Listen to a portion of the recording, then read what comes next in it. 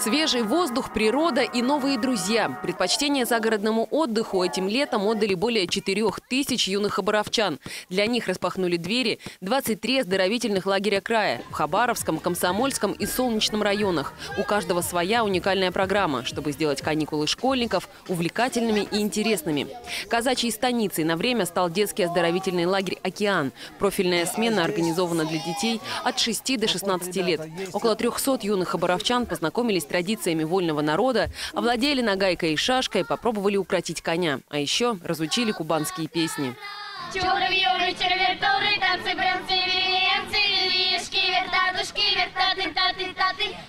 Сила, ловкость и патриотизм – главные качества юных казаков.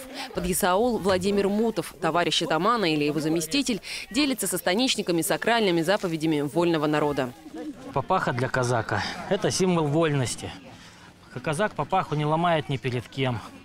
Из казака папаха сымается только вместе с головой.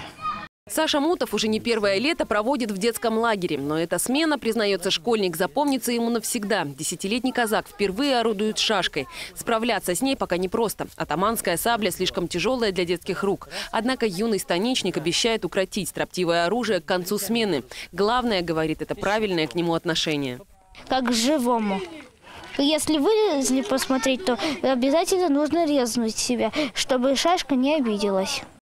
Занятия для себя в станице найдет каждый. Те, кто равнодушен к оружию, учатся плетению из лозы. Первый навык – окорка, снятие верхнего слоя с тонкого стебля.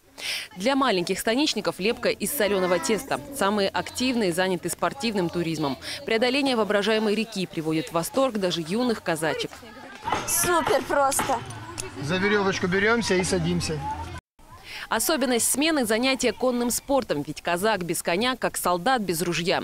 Для четырех скакунов в детском лагере построена конюшня, закуплен корм и приглашены профессиональные инструкторы. На первых занятиях каждый из сотни, так называют здесь отряды, учатся верховой езде на Пегасе. Так назвали в станице установленный тренажер. После подготовки подрастающие казаки меняют железного коня на живого.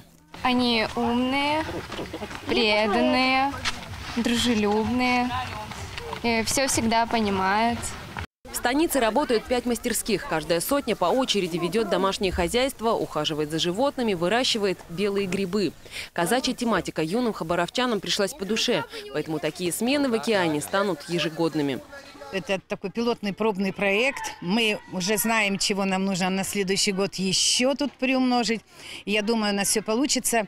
Это будет самая яркая, самая запоминающаяся смена Популярностью в загородных лагерях пользуются тематические смены. В мире детства творческий отряд в свои ряды принимает юных хабаровчан второй год подряд.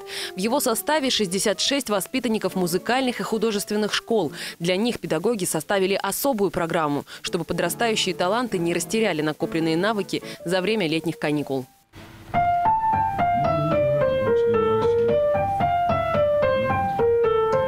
Десятикилограммовый аккордеон 12-летний Стас Мажухин берет с собой даже на отдых. В репертуаре никакой попсы, предпочтение дает романсам. За их исполнение не раз становился победителем всевозможных конкурсов.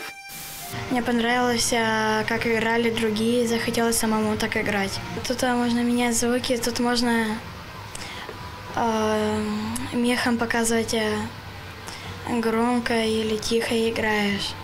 Для тех, кто привык отдыхать активно, в оздоровительных лагерях организуют военно-патриотические смены под флаги игры «Зорница», которая зародилась во времена пионерии. И сейчас собираются десятки юных бойцов, причем не только мальчишек. Меня научил стрелять с самого детства дедушка, от него шла эта как бы подача. Он всегда хотел, чтобы я умела стрелять, чтобы я была чемпионом мира по стрельбе, мастером спорта. Весь лагерь окунается в военную романтику. Найти похищенный неприятелем флаг, обезвредить противника, собрать гильзы и не растерять погоны – задача участников игры. Пленных здесь не берут. Неосмотрительность на поле грозит скамейкой запасных. Бойцов при легких ранениях санитары доставляют в медчасть. Еще кто раненый? Четыре Раненые! В эту игру играют первый раз, прям как на войне. Для тех, кто не смог отдохнуть на загородных базах отдыха при школах и центрах дополнительного образования, было организовано 148 площадок. Такие лагеря посетили около 8 тысяч детей в возрасте от 6 до 16 лет. Всего этим летом более 12 тысяч подрастающих горожан провели каникулы с пользой и набрались сил к новому учебному году. –